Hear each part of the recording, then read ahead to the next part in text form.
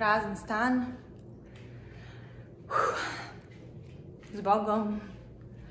DC, zbogom u stanu.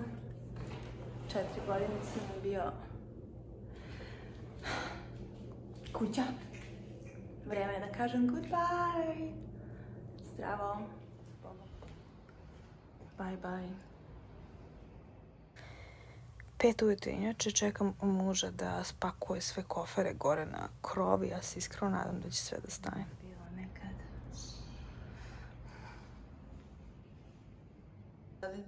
Jedva smo stali, auto zeza, kasnimo i tako dalje i tako dalje. Zbogom DC nekog sljedećeg viđenja.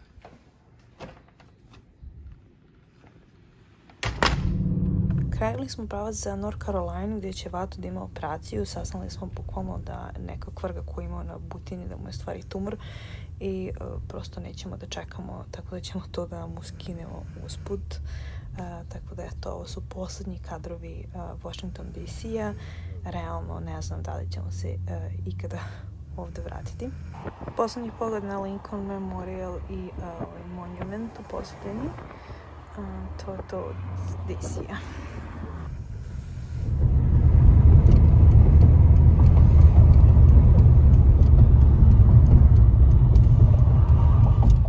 Stigli smo u North Carolina, vreme je uh, sunčano kao što možete vidjeti, što južnije to sunčanije, što mi iskreno uopšte ne smeta. Prva stanica je North Carolina, Vato ima operaciju, veoma convenient. Šalim se, skidemo mu neku masnu tkivu, nešto ima na butini, ne znam šta je. Tako da nam je to usput. A, izašli smo iz Virginije, prvi state nakon Virginije checked. So far so good. Čekamo Vata uz najgori guacamole na svetu, bukvalno. Na North Carolina Vata je živno nakon operacije. Pošteno su ga ovdje iskasapili. Ne možemo da nastavimo dalje jer smo preumorni, hoćemo da se Vato odmori. tako da smo uzeli ovu hotelsku sobu da se istuširamo, odspavamo pa ćemo da krenemo uveče. Ja bolje da vam ne pokazujem na što ličim, spavala sam sat vremena. 20 do 4 je, fino smo se naspavali i nastavljamo dalje put ka Atlanti, Georgia. Sjeder. Skroz fin hotel, mislim da smo imali complimentary breakfast kao, međutim jako smo rano otišli, tako da nismo imali priliku to da probamo. Sve je mirisalo na jaja i slaninu, ali smo pili jako dobru kafu, imaju jako puno onih zaslađivača i ukusa. Bože, koliko se raspadam. malo sam ospavala u kolima. Gdje mi je znak? Da li možete vidjeti gdje sam? Eno nas, stigli smo u Georgiji. imamo još nekih sat i po vremena. Jeste, još sat i po vremena imamo do Atlante. Tako da se vidimo kasnije. Ja se potpuno raspadam. Što se da primetiti. Gospodin se super oporavlja od operacije. Vato, si dobro? Jesi? Dobar pas. Odlučili smo da odemo do nekog velikog parka ili botaničke bašte, pa tako nešto ovaj, koji je kao popularan ovdje u Atlanti. nemamo puno izbora s malom, smo bebom, sa vatom, smo imamo tonu kofera na krovu, tako da ne možemo da ostavljamo auto svuda. Jako lep park, pogled na downtown, dušo delo da se ovdje trči vežba, ima stvarno svašta da se radi, što vidite, Atlanta je jako lepa, ali nažalost nema se puno vremena za obilazak, inače 30 nešto stepenije. Baš. Ne baš lepo, nego baš idealno. I čempresi neki užasno visoki. Ti znaš šta su čempresi? O. Šta kao nisu? A ne znam, ali pa da si našao čempres. Pa zato što je čempres jebote, šta zašto? Zato što smo slušali je pred dva minuta, jel? Kako to veze ima se?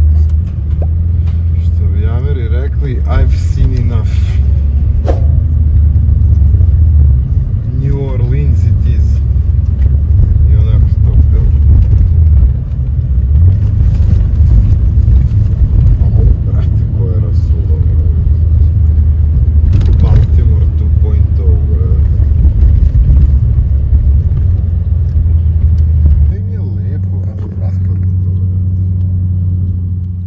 Town zaista daje Baltimore vibes. Sweet home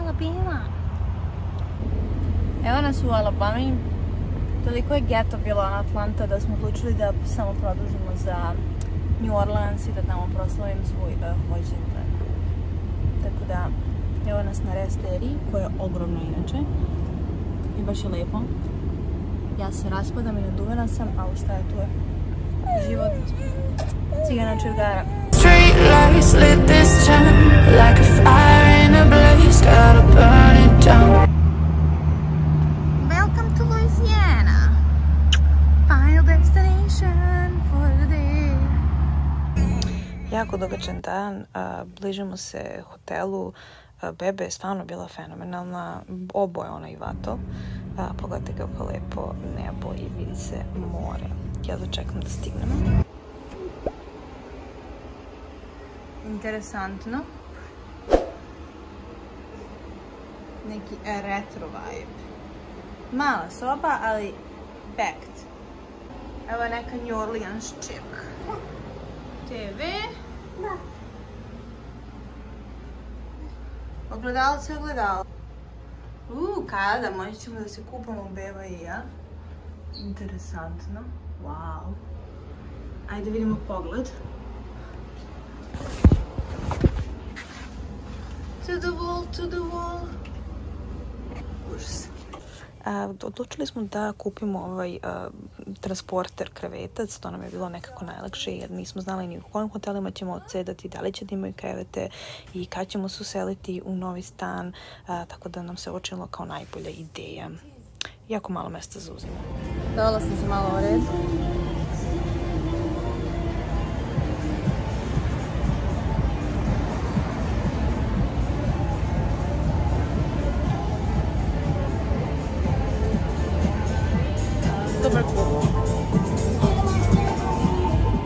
Morala sam da isključim zvuk da ne bi dobila strajk od YouTube jer se poznata muzika vrtela. Evo ga čuveni Bourbon Street, kao što vidite, ludilo je uvek. Prošle 12 sati, zvanično mi je rođendan i evo mi ga mali poklon koji me je dočekao. Zapušio nam se vlopotnik inače.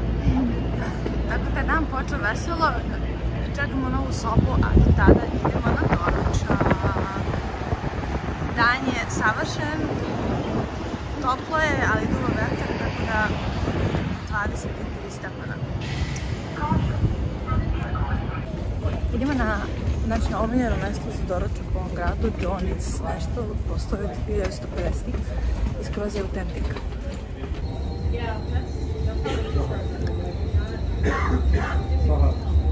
Sela nas u novu sobu, jer nam ne radi kod Rođendan mi je počeo strava. Dobili smo mnogo veću sobu od ove, tako da im opraštam. Inače, prethodno večer u hotelu je bilo jako skupo jer je bio fazon petak. Ali dobro, bolje da je ovaj mali. Veće je mnogo.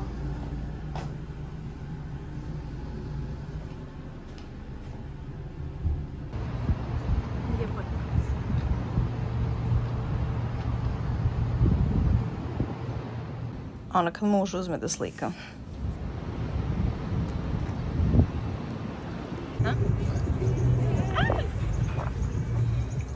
Grad ljute hrane i dobre muzike. New Orleans. A, zašli smo u Suburban Street, vidjeli koja je gužava i pobegli na sljedećem ćošku jer je ovo stvarno previše za ljudi sa decom.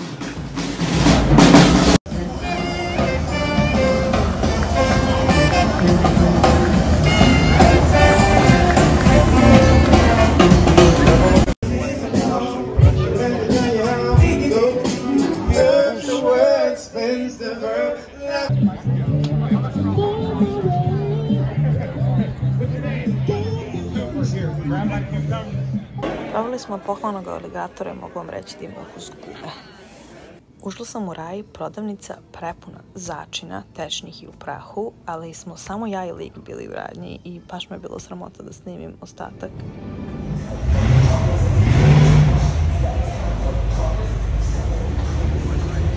Ovdje je tako normalizovano da ti kad vidiš dobru žušku samo si priključi i bukvalno je narod prelivao sa svih strana o ovom partiju na ulici. S obzirom da smo imali malinu, izbjegavali smo Bourbon Street u kom je ono ludnica bukvalno svaku noć, ali mislim ovdje se svašta nešto dešava i u drugim ulicama. juče mi je bilo toliko...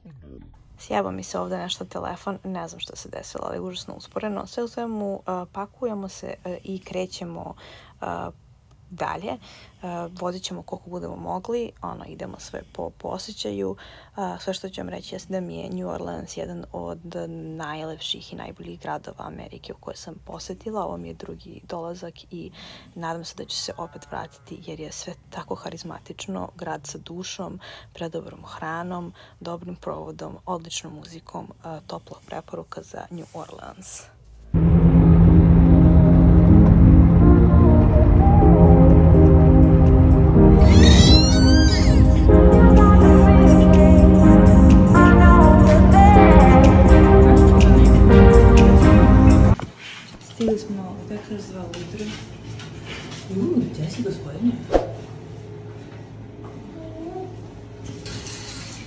Gdje si gospodine?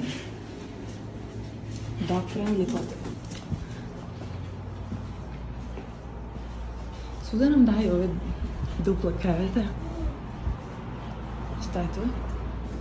Krećemo iz Teksasa putem New Mexico do Arizone. Uh, da ćemo spavati na Arizoni, ne znam, zavisi sve od toga kako bebe bude podnala put, možda izguramo sve odjednom, a možda budemo i spavali. Ja bi naređe ako možemo da izguramo, da, ne, da ih ne maltretiram još jednu noć u hotelu, raspakivanje i tako dalje, nego da se put što pre okonča, jer kad ideš s malom bebom i kučetom, to više nije kao a, putovanje živancije, nego je više sve stres.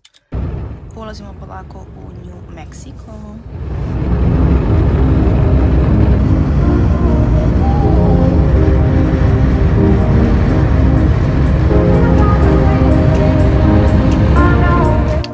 Nas uh, na resteri u uh, New Mexico. Stali smo samo na par sekundi. Užasno je toplo i naravno nema žive duše.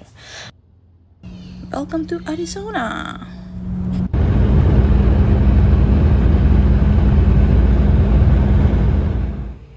Ne, ne ličim na ljudsko biće, stigli smo. Nemaju one, ona glupa kolica, tako da se čeka muža.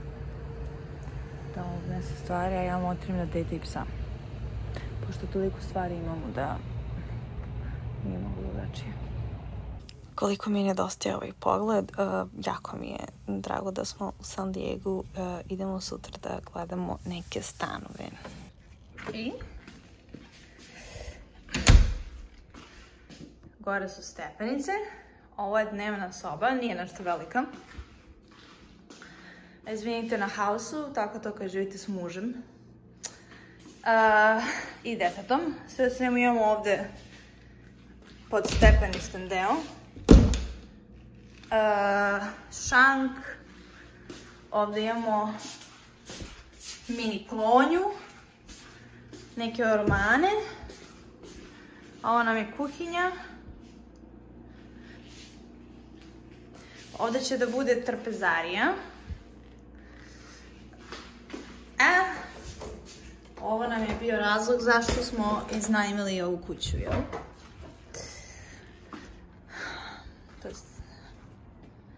Ovo je dvorište.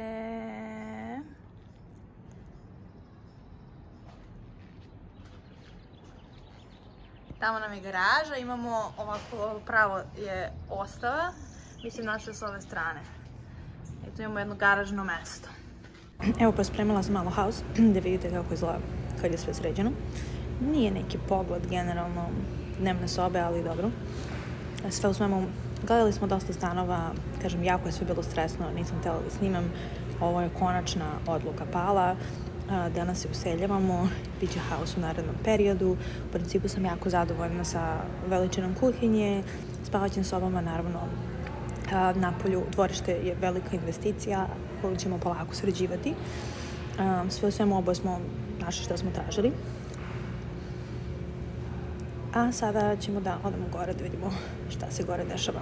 Možda stepenice nisu najidealnija stvar za malo dete, ali smo želeli da odvojimo spavaću zonu u odnosu na, ostatak zone, tako da beba može da ima tišinu. Ovo je manja soba koja će biti naša, gleda na dvorište i ima ovaj walk-in klozet koji nije velike kao moj prethodni, ali bože moj. I zatim imamo drugu sobu koja je veća i koja će biti bebina soba. naravno, ona je još uvijek mala, dakle spava s nama, ali za godinu dana, što znam, verovatno će početi da spava u svojoj sobi. I eto, dragi moji, to je to. Jako smo uzbuđeni oko ove selbe, useljenje novi stan i započinjenje novog života. Svesna sam da ovaj video baš nije bio najzanimljiviji, ali ko selidu je pa zanimljiva. Šta je tu je? Nadala sam se da će imati više materijala za ovaj video, ali prosto sve toliko bilo stresno da je posljednje što sam željela da uzem kameru u ruke.